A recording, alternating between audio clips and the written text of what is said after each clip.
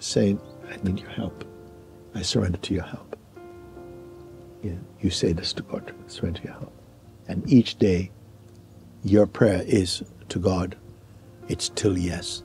That's already a power.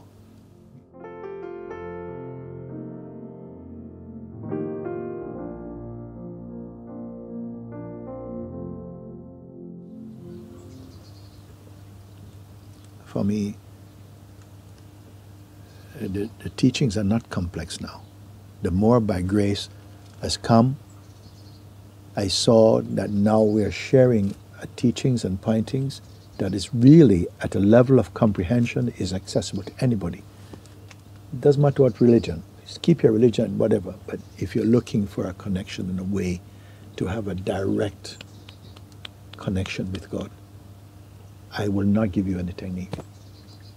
The simple place I told, if you say yes and you mean it, and each day your prayer is to God, it's still yes.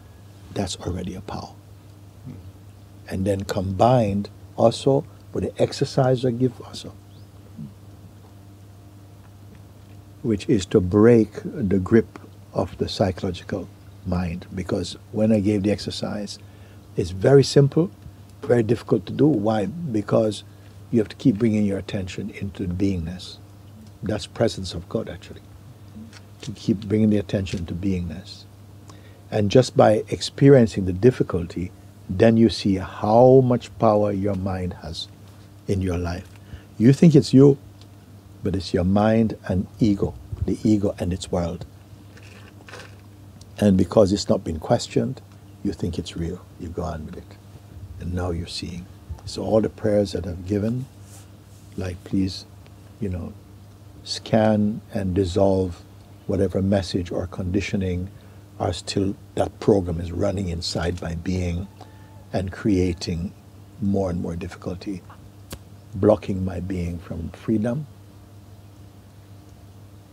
I offer this, whatever is contained in that. I offer that this message is deleted or dissolved.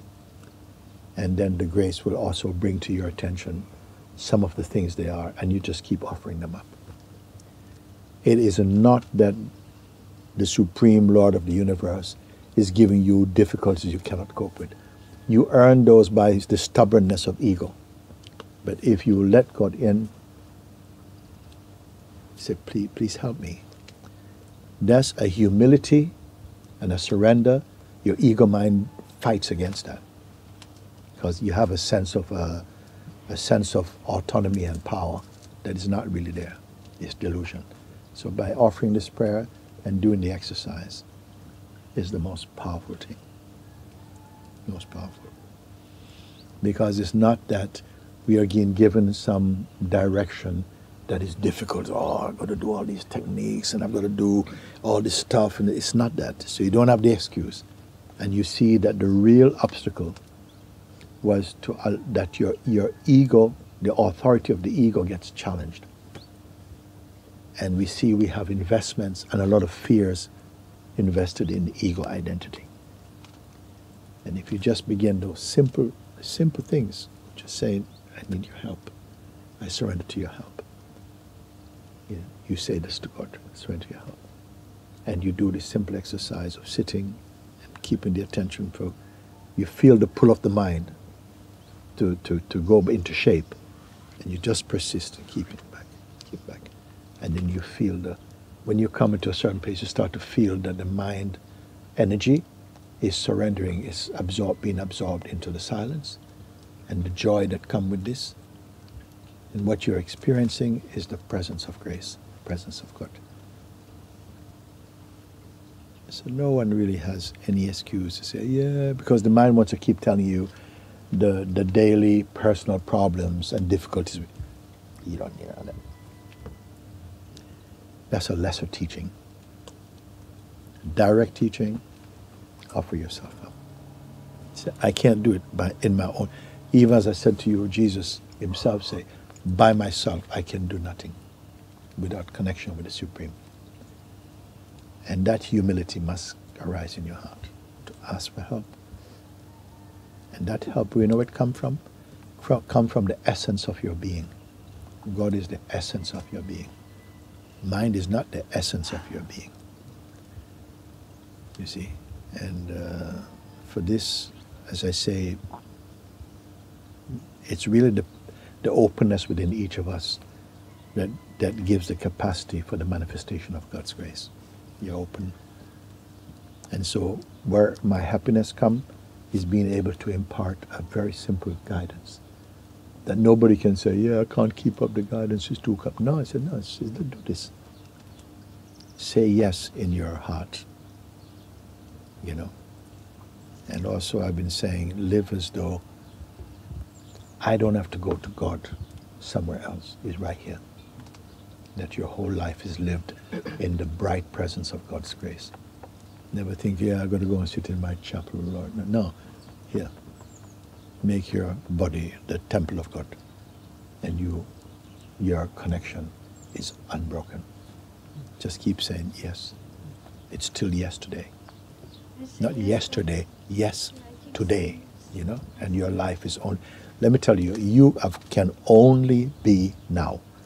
Nobody has ever experienced yesterday or tomorrow. If you think about tomorrow, plans for tomorrow, that's what you're doing with your now. If you reminisce about yesterday and our life, that's what you're putting in your now. Your now should be empty.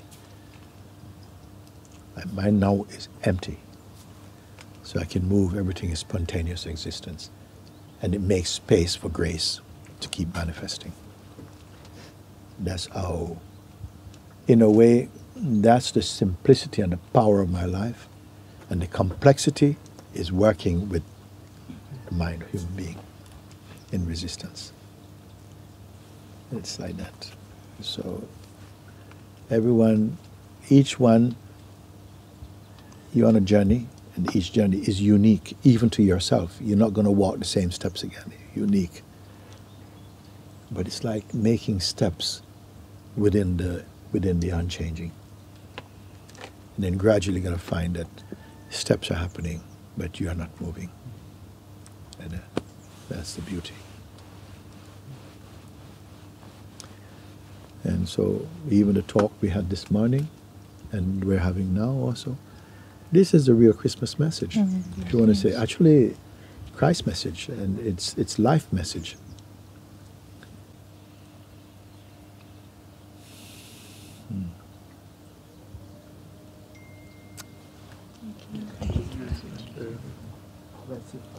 Yeah, blessing, blessing, blessing, blessing, blessing, blessing. I mean, may this, the blessing that we that flow from our heart, it has no boundary. You know, the light is there for anyone who wants to step into it.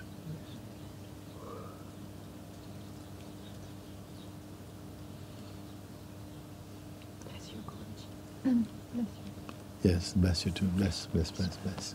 Thank you.